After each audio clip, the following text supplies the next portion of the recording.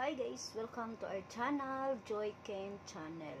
So, today guys, ang pag-uusapan naman natin ngayon guys is paano po tayo maging masaya.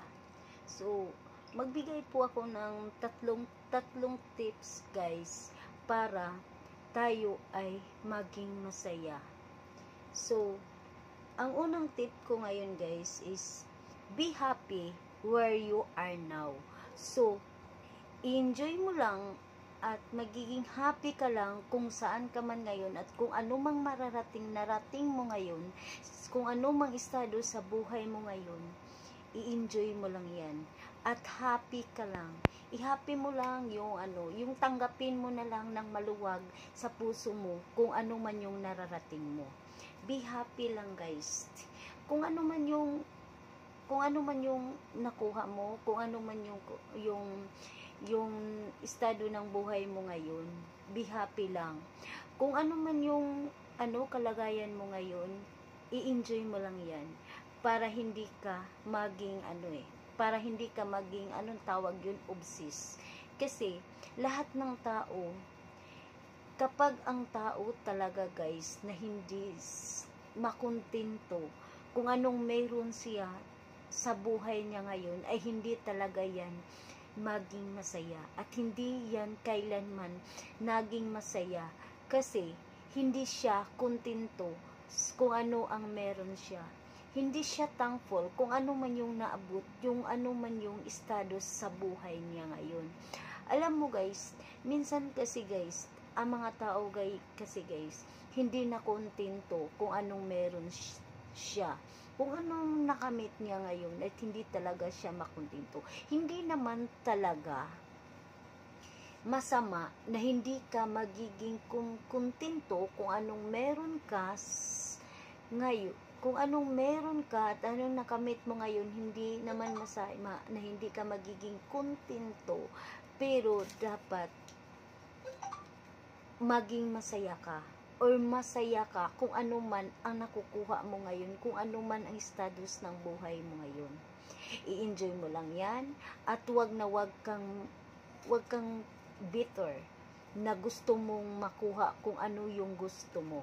Kasi pag makuha mo yung gusto kasi kapag hindi mo pa nakukuha yung gusto mo at naging bitter ka, kailanman hindi ka naging masaya. Alam mo kung bakit? Kasi hindi ka nag-enjoy anumang kung anumang ano yung pusa namin. Ano pa. So hindi ka talaga mag-enjoy kapag hindi ka kontento o tsaka hindi mo tina, hindi mo tinanggap na maluwag sa puso mo kung ano ang meron ka.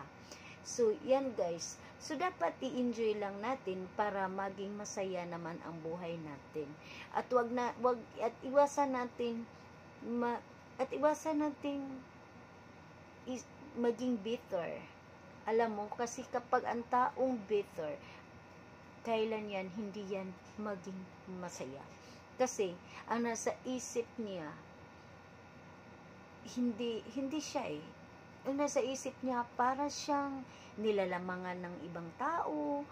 Kasi, ang mga taong bitter yan is hindi tinitingnan at hindi ini-enjoy ang life niya kasi, ang tinitingnan niya, ang tinitingalan niya, yung ibang tao, hindi naman masama na, mag, na mag-idol tayo ng tao na para magpursige tayo kung ano mang gusto natin sa buhay at magpupursige tayo sa pag ano pero kailangan din natin sabayan yan sa pagpursige at sa pagsisikap at lalong lalong i-enjoy lang natin kung anong meron tayo kasi, kapag nakontento ka at i-enjoy mo lang yan, para, para, para lang yang ano eh, para lang yan ng sayaw.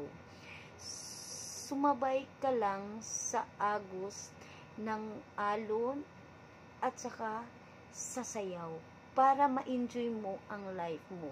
Kasi, small world lang. Magkita-kita tayo kahit kailan, kahit saan, magkita-kita rin tayo. At saka, yung life natin may limitasyon tayo kung saan kailan at saan tayo hanggang kailan tayo dito sa mundo. Kaya wag natin sayangin ang buhay natin sa pagiging bitter. Kailangan din natin yan na i-enjoy natin ang ating life.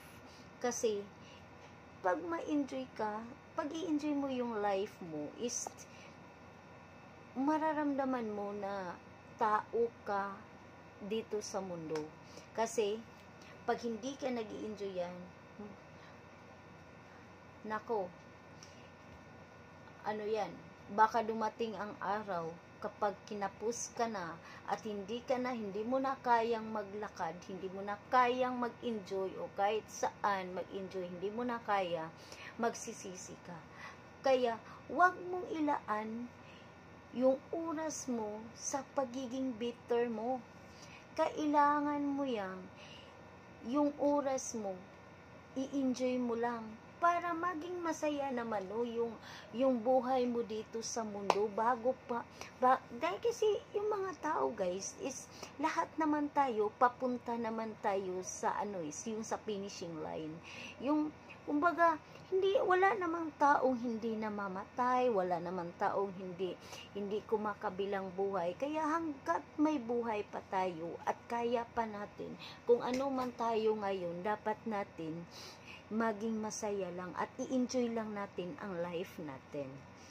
At saka, ano guys, ito pa, para mas complete yung ano, para mas kumpleto po yung ano, yung magiging kasiyahan natin sa buhay natin dito sa mundo, no? Don't compare yourself to others. So, isa yan.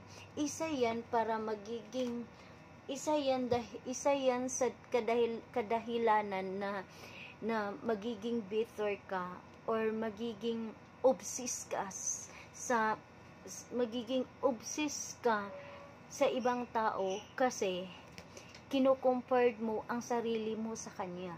So, baw, hindi talaga mabuti yan na i-compared mo ang sarili mo sa ibang tao. I-enjoy mo lang ang sarili mo at saka ano lang, sa sinasabi ko na kanina, kailangan lang natin sumabay sa agos ng alon ng buhay natin. Kailangan lang natin sumabay para hindi tayo mahihirapan. Kung ano mang yung nakamit natin, yun lang at wag na nato, wag na tayong makipagkumpit kahit hindi man natin kaya.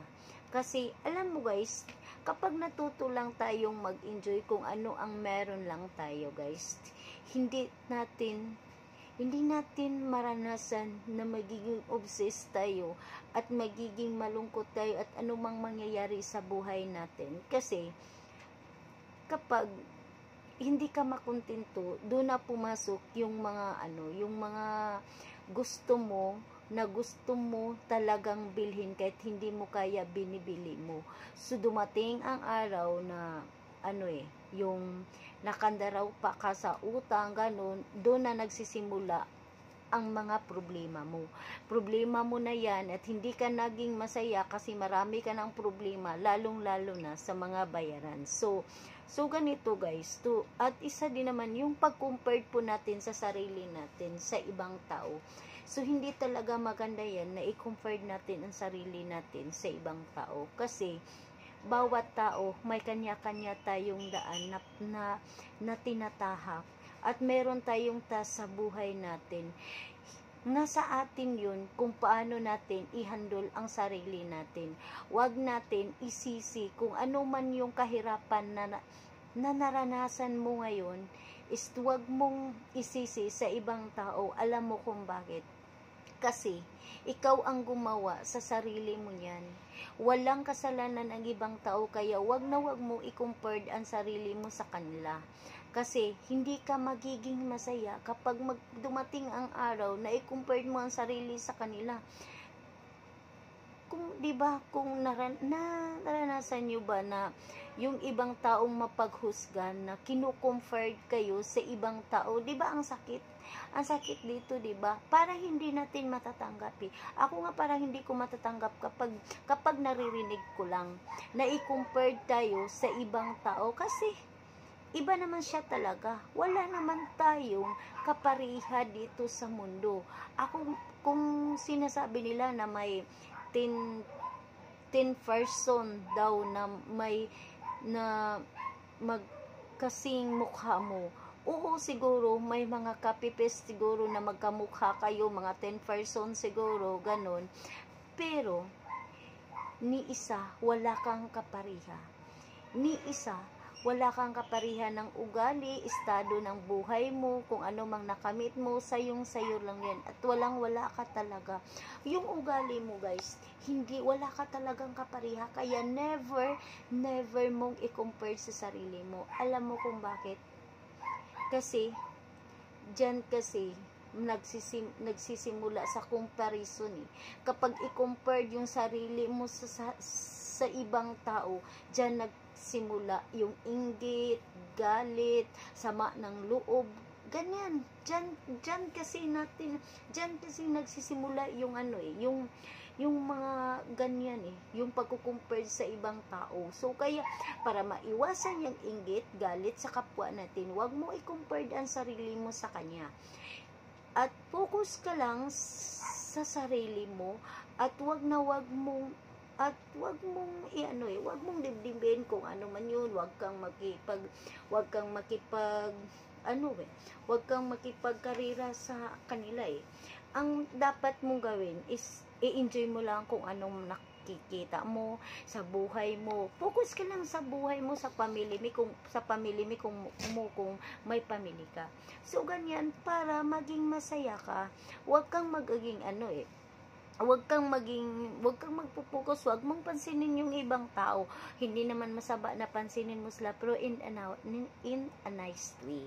So, pansinin mo lang siya as a friend, ganun, pero, kailangan talaga nga nakapokus ka talaga sa buhay mo. Magpupursigi ka, at saka i-enjoy mo lang. Huwag kang bitter. Yun, huwag kang bitter guys. Kasi, pag maging better ka sa buhay mo, ang buhay mo ay naging better din. Maging mapait din ang buhay mo at ang sarili mo kung kailanman hindi ka magiging masaya kapag ganyan ang ugali mo. Kaya, ang masasabi ko sa inyo is, enjoy lang tayo kung anong meron tayo guys. So, wag na natin i-ano yung mga ibang tao kung ano man sila sa kanya no. Kung may naririnig ka man na masasama tungkol sa iyo, yung, yung masamang sinasabi tungkol sa iyo, pabayaan mo na yung mga taong mapaghusga. Basta ang isipin mo lang, mag-enjoy ako hanggang buhay pa ako. I-enjoy ko ang life ko kasi kunti lang ang buhay natin dito sa ano eh, sa mundo eh. Sayang kapag ano eh, pansinin pa natin yung mga negative vibes. So, joy, joy, joy lang tayo. mag enjoy lang para tayo ay maging masaya sa buhay natin.